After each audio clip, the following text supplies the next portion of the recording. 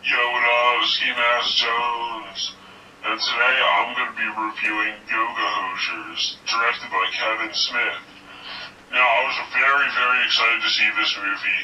Um, Kevin Smith is one of my favorite directors of all time. I'll probably put him in my top five.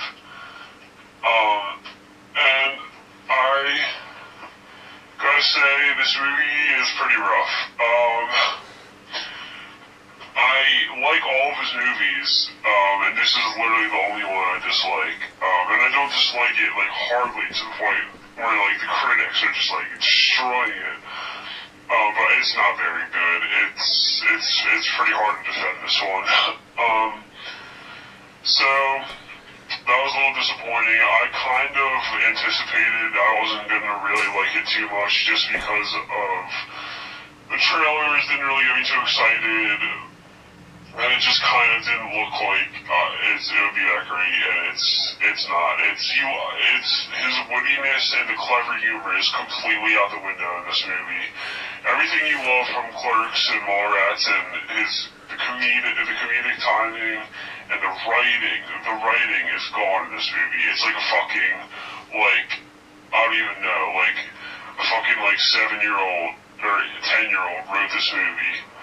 It's it's very stupid and um it is like childlike imagination, but it's not in a good way. Like it's just I don't know how to describe it. He said it's supposed to be bad on purpose, but it's not even a good movie that's bad on purpose. If that makes sense. Like Snakes on a Plane is supposed to be bad on purpose, but that worked. It's good. It's a good movie.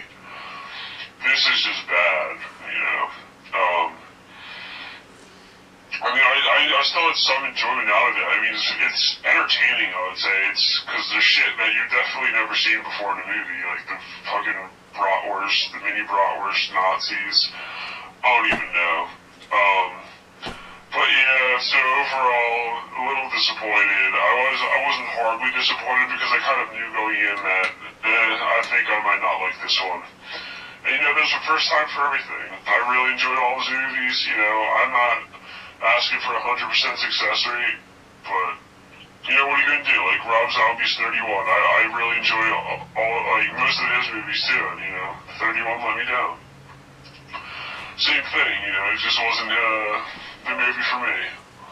Um, I mean, but I would watch it again if it's on TV on a rainy day. I would definitely put it on in the background. You know, kind of look up and watch. Um, I think it weirdly has replay value, if that makes any sense. It's like I think a lot of his movies have replay value. Like I've seen Jay and Silent Bob Strike Back probably, not even exaggerating, probably 50 times now. And uh, that's throughout my life since it came out in 2001 when I was a kid.